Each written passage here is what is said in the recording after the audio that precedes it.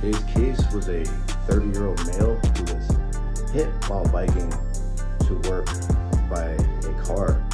Now, his pain is really isolated to the medial aspect inside the knee.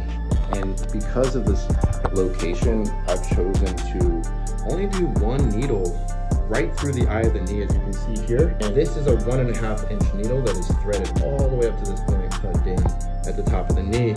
And the knee has to be elevated and slightly bent for that hole to properly open. And so we have some local points here to also encourage blood flow. And we come down the spleen channel, which it runs through the spleen channel. And we bled the last point as an exit point for this stagnant energy to move out. Also bled the opposite lung channel and the opposite arm. Shows another few points on the lung channel that were tender upon palpation to encourage blood flow and balance this opposite corresponding meridian. As you can see, the energy is very much like a infinity circuit throughout the body. So we get much more effective results when we don't just treat the local area, but we also treat the opposite corresponding channel.